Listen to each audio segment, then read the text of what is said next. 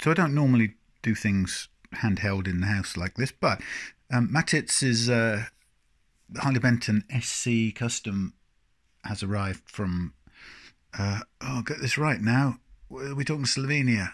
Uh, um, yes, we're talking Slovenia, and um, this is the first of a couple of his guitars coming in, and it's a beautiful looking thing. And I've got my details here on my other phone, and it tells me it's the Custom Line series um, mahogany body, Swietenia Melissia.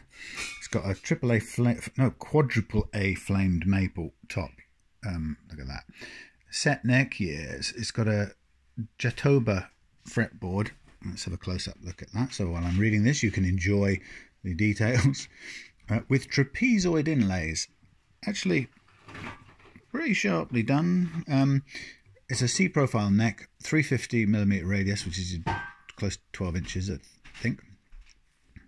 Um, I could be wrong. Cream coloured body, neck, and headstock binding. Yes, we've got the binding there. Uh, that's about as close as we're going to get.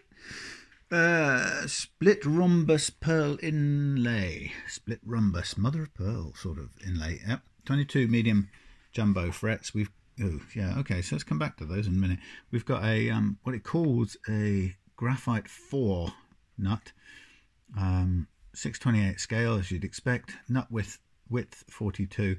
Double action truss rod. We've got the two Roswell LAF latent applied for uh, Alnico 5 vintage style humbuckers, um, two controls, two volumes, sorry, two volumes, one tone. And what I like about this already is on this guitar, they're two, truly independent of each other. So you can have them both set in the middle position and uh, we've got both on there. And when you turn the, the neck one down, the treble cuts through, turn the neck one up and uh, it mixes the two Similarly, turn the bridge one down and it's neck only.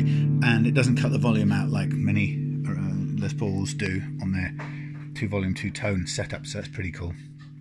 We've got DLX Chrome hardware. We've got a Tune-o-matic bridge, um, DLX Chrome.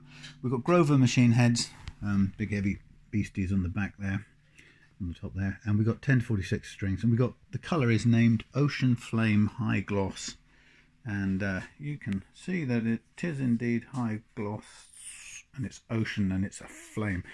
Now I think Matitz has um, done some tweaking here to the pole pieces. Let me just uh, let me just tell you right here and now that the price on the Harley, Harley Benton, the Thomann website for this is 175 Great Britain pounds. Um, and uh, like I say, Matitz has uh, has raised and lowered some of the pole pieces um, on both pickups. This one quite quite a lot. Um, so I'll be setting this one up for him, and um, we'll be replacing that nut. Even though it's a you know it's a fair looking thing, it's essentially a plastic one. It's not the end of the world, but it's um it's actually currently cut. Bless you. It's currently cut a little bit too low. Um, so you can see there that's that's a bit below my ideal minimum. That's tiny.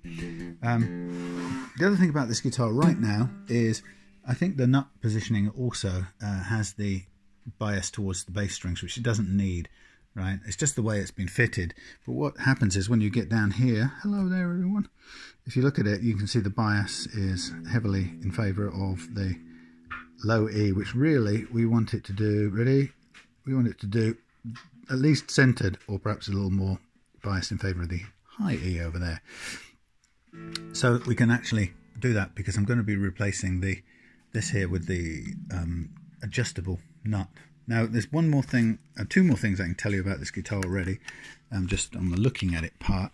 First of all is everything works as intended, tone wise.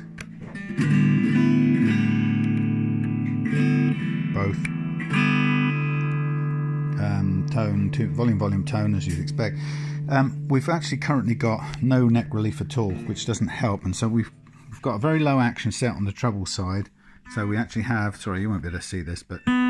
This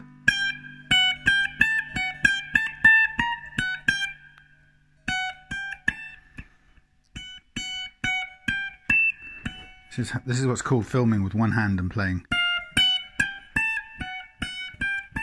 with the other. So that's too flat and it's too low and there may be some uneven frets. The other thing that suddenly I realised I'd picked up, which was driving me a bit bonkers. Let's see if I can focus in on this. Ready? Oh! Who'd want that? Let's turn this off so you can't hear that, but you can just hear this. Ready? Bend that G string. Ooh. Hmm. Annoying as hell. Imagine doing that while you were playing. Eek. Okay, well that's it for now. Um, we'll get into the the worky shop with it later on today or tomorrow. Not sure exactly when. Pretty looking. Uh, that's the old Harley Benton headstock thing. SC Custom Lion Grovers. Grovers. And we got a belly carve. Um, I and we've got a little cutaway here as well. So we've got belly carve. Sorry, I'm just looking with my real eyes, not through the camera.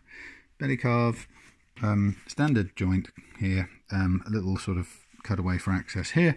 And we've got what I think is a pretty ugly looking arrangement. I guess there's a reason for it being so geometric, probably easier to cut and fit or something, but I don't know. It's just an odd shape, really. I know it's for the three position, it doesn't need the standard control. But why why that coffin shape? Anyway, who cares? Um, it's quite a thin body guitar. In fact, it's nearly as thin body as my super thin bodied beastie over there, which is currently waiting to go out to the buffer. And that's a, a, a carved top Les Paul as well, but uh, it, it doesn't have the conventional massive body thickness of the Gibson Les Paul like this doesn't. This is a, a slim down shape. I, I, don't know what the actual dimensions are, but kind of similar to the one I've made over there. Anyway, see you in the workshop with this one later on.